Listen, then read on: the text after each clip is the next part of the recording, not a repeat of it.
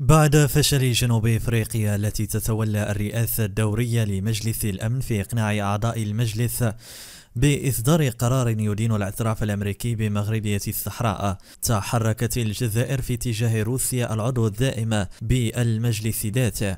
وبادر وزير الخارجية الجزائري صبري بوغدومة إلى الاتصال بالممثل الخاص للرئيس الروسي المكلف بالشرق الأوسط وإفريقيا نائب وزير الخارجية ميخائيل بوغدانوف للتداول في مسألة نزاع الصحراء المغربية وجلسة مجلس الأمن الأخيرة وكشفت الخارجية الروسية في بيان على موقعها الرسمي أن الاتصال الهاتفي تمحور أساسا حول تنفيذ قرارات مجلس الأمن الدولية ذات الصلة بنزاع الصحراء المغربية.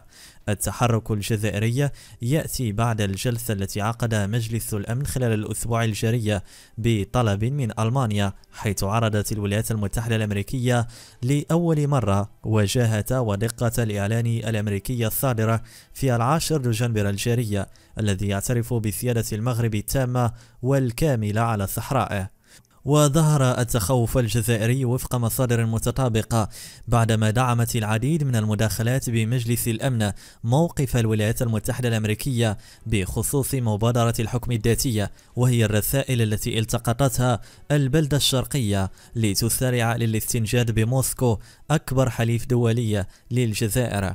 وتضغط الجزائر من أجل تعيين مبعوث أممي جديد إلى الصحراء في أسرع وقت ممكن وذلك بعد الدينامية الإيجابية والغير المسبوقة التي شهدتها الأقاليم الجنوبية منذ تحرير معبر الجرجرات وصولا إلى القرار الأمريكي الذي شكل صدمة لدى داعمي ميليشيات البوليساريو. وأثارت تصريحات السفير الأمريكي المعتمد لدى المملكة المغربية ديفيد فيشر يوم أمس صدمة لدى من كانوا يروجون أن الإدارة الأمريكية الجديدة بقيادة جو بايدن ستتجاهل قرارات دونالد ترامب بخصوص مغربية الصحراء وقنصلية الداخل. وتناقلت وسائل إعلام جزائرية من بينها صحيفة الشروق مضامين حوار السفير الأمريكي وتأكيده أن اعتراف ترامب بمغربية الصحراء سيظل قائما مع الإدارة الأمريكية المقبلة. وكانت صحيفة جون أفريك كشفت أن النظام الجزائري يعول على لوبي أمريكي يعمل لحسابه من أجل دفع الإدارة الأمريكية إلى التراجع عن موقف دونالد ترامب القاضي بالاعتراف بالسيادة المغربية على الصحراء وفتح قنصلية بالداخل. واستغرب السفير فيشر بعد التحليلات التي تحدثت عن إمكانية تراجع الرئيس المقبل جو بايدن عن قرارات الرئيس ترامب بخصوص مغربية الصحراء وقال إن العلاقات بين المغرب وأمريكا قديمة جدا منذ عام 1777 من خلال الديمقراطيين والجمهوريين وشدد على أن القرار الرئاسي لترامب سيظل قائما وستكون لدينا علاقة اقتصادية دافئة ورائعة سواء من داخل الإدارة الأمريكية الجمهورية أو الإدارة الديمقراطية. وشرعت واشنطن عمليا في تنزيل قرارات الرئيس ترامب. إذ وافقت وزارة الخارجية الأمريكية يوم الخميس على إجراءات بدء إنشاء قنصلية أمريكية في مدينة الداخلة وهو ما يعكس التزام الإدارة الأمريكية بمضامين التصريح المشترك الذي جرى توقيعه بين الرباط وواشنطن.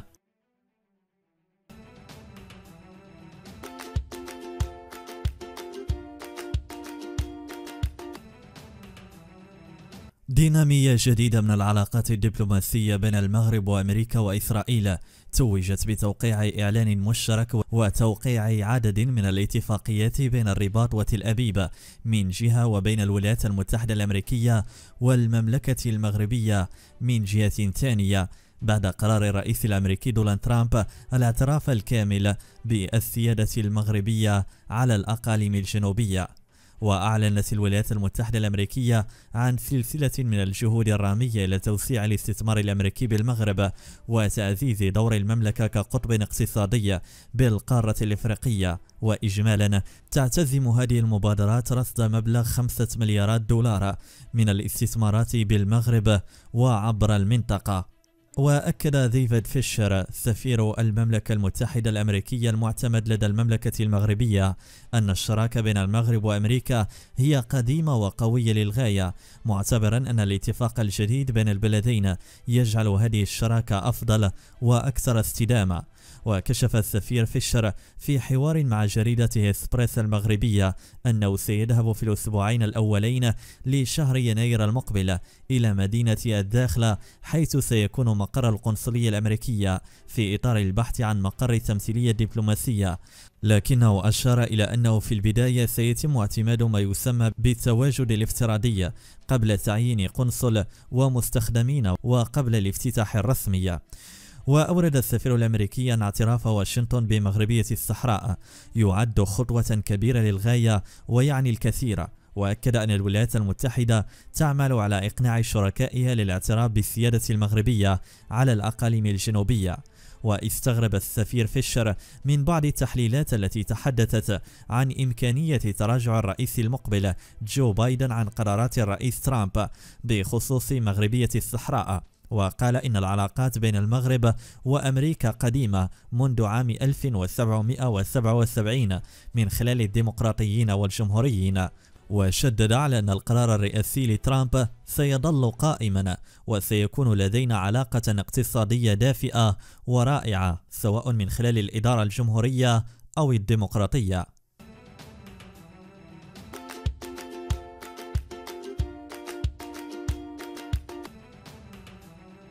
في الوقت الذي جرى فيه التوصل إلى اتفاق تجاري بين المملكة المتحدة والاتحاد الأوروبي يوم الخميس بخصوص مرحلة ما بعد البريكسيت.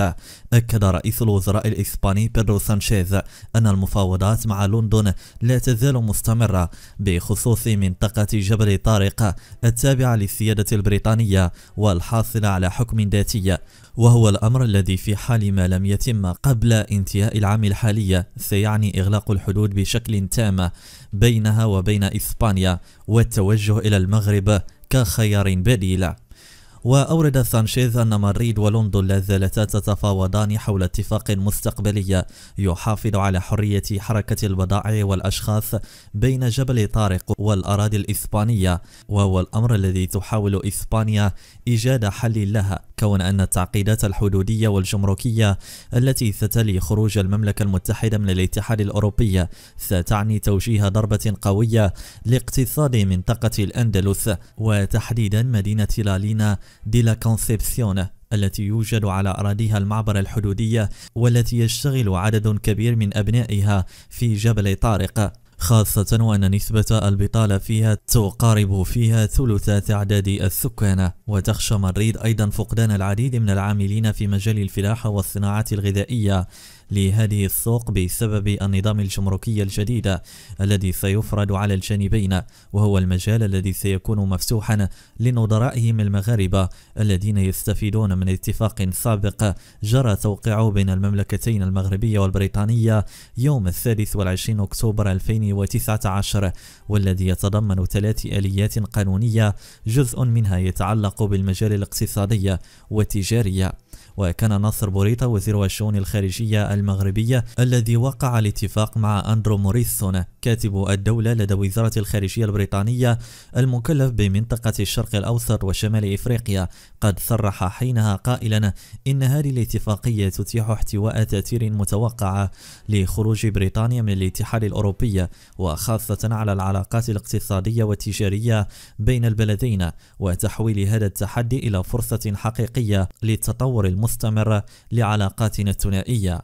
وبالإضافة إلى ذلك ستتيح تبعات البريكسيت فرصة أكبر لليد العاملة المغربية للتوجه نحو جبل طارق حيث أن المنطقة المتمتعة بحكم ذاتي التي لا تتجاوز مساحتها 6.7 كيلومترات مربعة والذي لا يزيد سكانها على 33 ألف نسمة تعتمد كثيرا على تدفق العاملين الإسبان البالغ عددهم 15 ألف شخص. كانوا يتنقلون بشكل يومي عبر البوابة الحدودية البرية دون تعقيدات باعتبارهم مواطنين أوروبيين.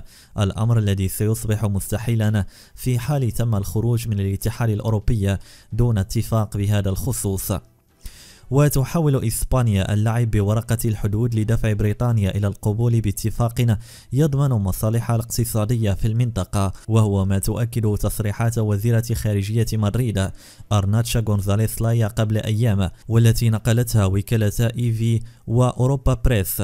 إذ أوردت أنه في حال ما لم يكن هناك اتفاق قبل فاتح يناير 2021 فيصبح هذا المكان جبل طارق حدودا خارجية بكل ما يترتب على ذلك من عواقب مضيفة سيتعين على إسبانيا حينها حراسة الحدود وتطبيق ضوابطها الخاصة سواء فيما يتعلق بحركة البضائع أو الأشخاص.